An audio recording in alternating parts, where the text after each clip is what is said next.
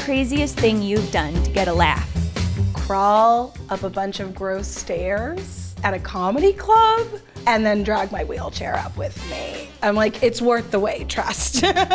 Start a set with completely Mandarin Chinese for about five to 10 minutes and then did like a, a, joke in English. I got to get sweet revenge on America for putting me through that when I was a little immigrant girl. Would I take my top off to get a laugh on stage?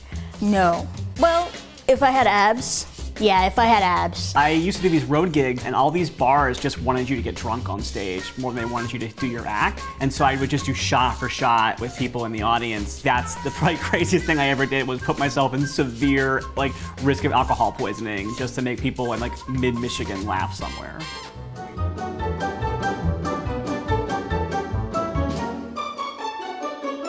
What?